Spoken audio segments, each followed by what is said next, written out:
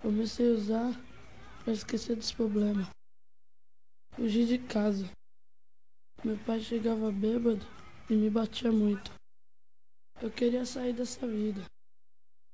Meu sonho é estudar, ter, um, ter uma casa, uma família. Se eu fosse mágico, não existia droga, nem fome e nem polícia.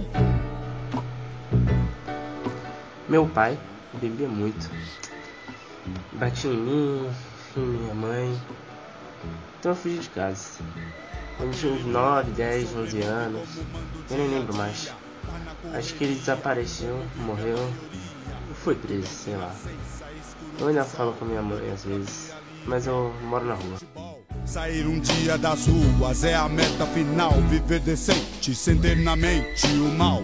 Tem um instinto a liberdade deu. Eu não roubo porque gosto, eu roubo porque eu preciso. Eu já roubaram mentira. Ficante ladrão, toda raça, uma parte alucinada e nunca embaçou. Confia neles mais do que na polícia. Quem confia em polícia, eu não sou louco. A noite chega e o frio também, sem demora. E a pedra, o consumo aumenta a cada hora. Pra aquecer ou pra esquecer, viciar deve ser pra se adormecer, pra sonhar, viajar na paranoia, na escuridão. Um poço fundo de lama, mais um irmão não quer crescer, ser fugitivo do passado, envergonhar-se aos 25 ter chegado. Queria que Deus ouvisse a minha voz e transformasse aqui no mundo mágico de Oz. Queria que Deus ouvisse a minha voz. Que Deus ouvisse a minha voz. O mundo mágico de Oz. Queria que Deus ouvisse a minha voz. Que Deus ouvisse a minha voz.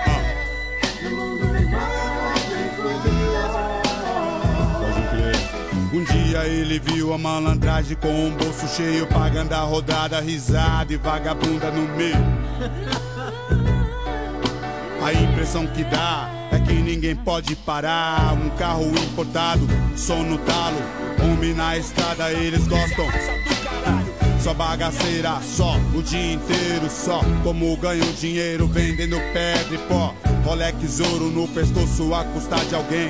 Uma gostosa Prefiro pedir que roubar. Eu quero trocar do Germão. passou e fez o seu papel. Dinheiro na mão, corrupção à luz do céu. Que vida agitada em gente pobre tem, periferia tem. Você conhece alguém? Moleque novo que não passa dos 12. Já viu, viveu mais que muito. O homem de hoje vira a esquina e para em frente uma vitrine. Se vê, se imagina. Minha mãe na vida tá do doente. que Eu não sei o que ela tem. segue o caminho Mas certo. quando dá, eu Ele tento. se espelha em Comprar um remedinho pra ela, né? Não sei, acho que ajuda. dele. Sinto que estou fazendo algo.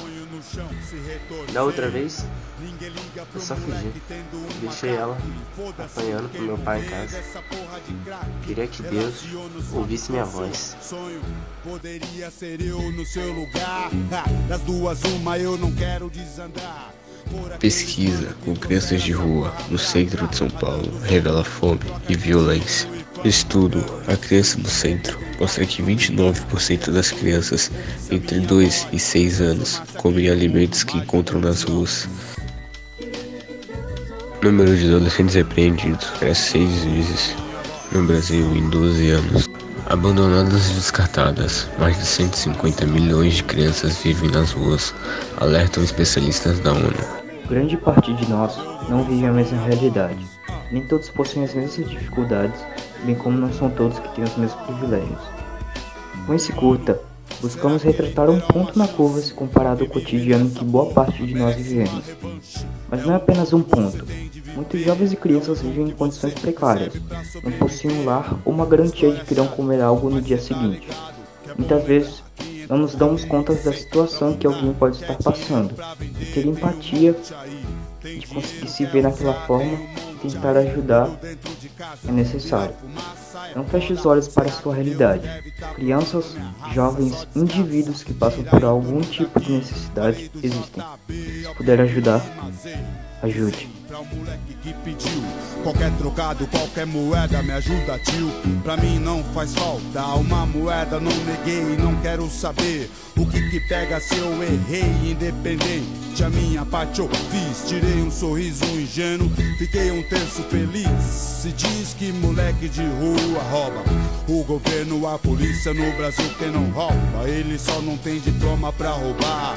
Ele não se esconde atrás de uma farda suja. É tudo uma questão de reflexão, irmão. É uma questão de pensar.